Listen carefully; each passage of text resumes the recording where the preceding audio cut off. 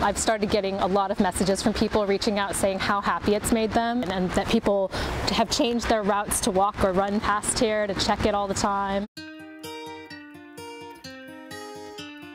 Hi, I'm Beth and I'm the creator of the Wakehurst Mouse Hole.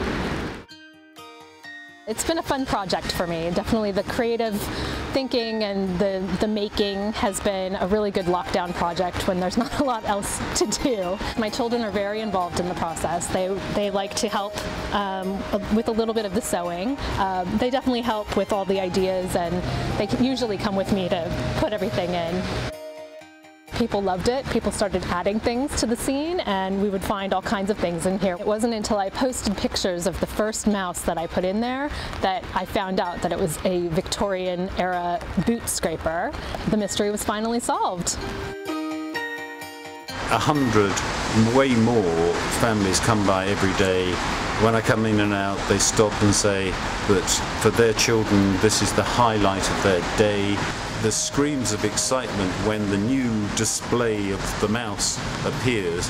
Look, look, look!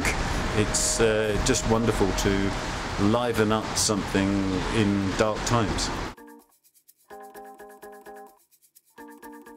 I just discovered this yesterday. They left a note in this one inviting the mice to come to a beach holiday in a boot scraper around the corner. So I, once I saw that, I moved two of the mice onto their holiday. Maybe they'll be popping up all across London. If you've got a local boot scraper, you should probably start checking it. I'd like to carry on doing it. It's making people so happy. The idea is just come to me easily and then I think what I lack in skill I make up for in creativity so at least that's what I like to think.